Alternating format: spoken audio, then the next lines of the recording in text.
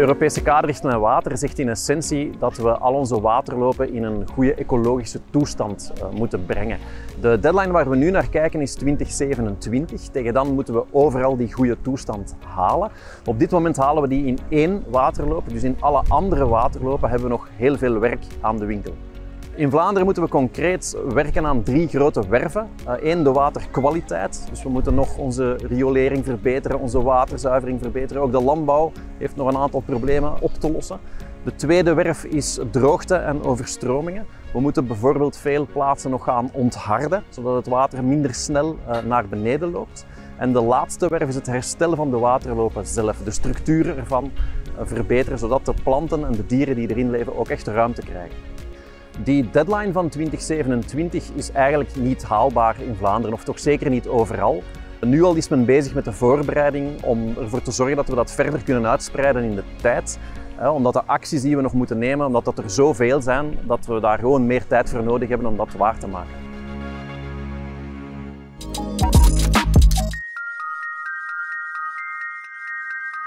Ondanks het natte voorjaar blijft Vlaanderen kampen met waterschaarste. Sterker nog, in vergelijking met andere Europese landen ervaart onze regio uitzonderlijk hoge waterstress. Dat houdt in dat de beschikbaarheid van water niet toereikend is om aan de vraag te voldoen. Het is dus cruciaal dat we op een slimmere manier met water omgaan. De waterschaarste heeft veel te maken met uh, hoe we vroeger eigenlijk alles aangepakt hebben. Vlaanderen was een heel nat gebied en het water moest eigenlijk zo snel mogelijk weg van de regio om ervoor te zorgen dat de landen bewerkbaar waren. Daardoor zitten we nu eigenlijk met een droogte. De droogte zorgt voor heel wat effecten. We gaan nu spaarzamer ook om met ons water. Daarom is waterkwaliteit ook een heel belangrijke. En uh, nu is het eigenlijk vooral belangrijk om ervoor te zorgen dat we enerzijds water meer in onze regio houden op de plaatsen waar het nodig is, maar dat we ook bewust omgaan met ons water en uh, uiteraard ook die waterkwaliteit. De Ringbeek tussen Wingenen en Oostkamp is een voorbeeld van een waterloop met een slechte waterkwaliteit. Vooral in de zomer zijn de stikstof- en fosforconcentraties te hoog.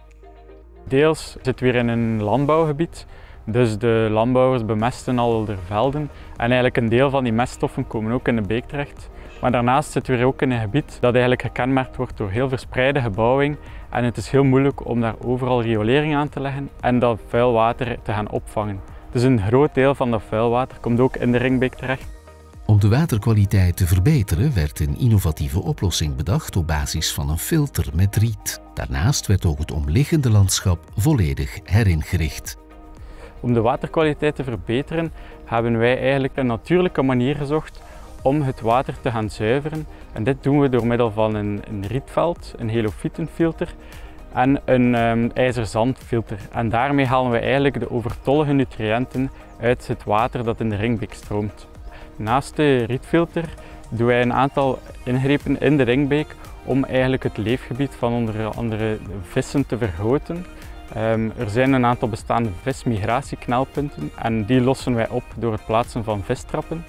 Daarnaast gaan wij ook maximaal de bestaande knotwilgen behouden planten we ook nieuwe bomen aan om zo eigenlijk de vleermuizen, vogels en andere kleine diertjes meer kansen te geven in dit gebied. Met dit project, dat steun krijgt vanuit Europa, bewijst ingenieurs- en architectenbureau Sweco dat innovatieve natuurlijke oplossingen de sleutel zijn tot effectieve waterzuivering.